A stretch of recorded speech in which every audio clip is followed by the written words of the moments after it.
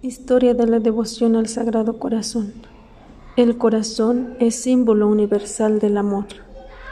El corazón es el órgano en el que más repercuten los afectos del hombre.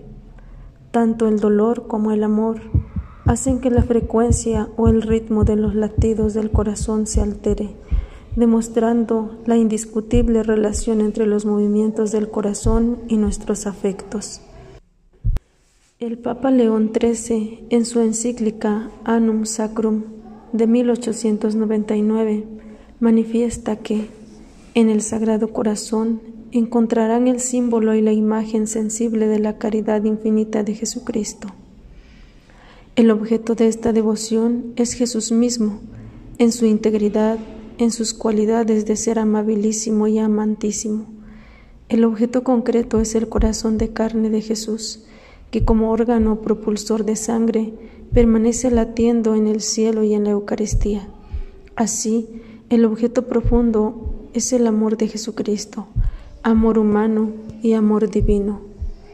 El fin de esta devoción envuelve dos grandes intenciones, amor y reparación.